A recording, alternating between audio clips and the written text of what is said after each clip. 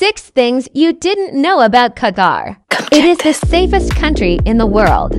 Qatar is home to over 100 nationalities, one of the only two places in the world where the desert meets the sea. Qatar is the first Arab country to host the FIFA World Cup.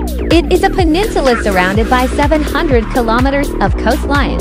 Citizens of more than 80 countries can enter Qatar visa-free.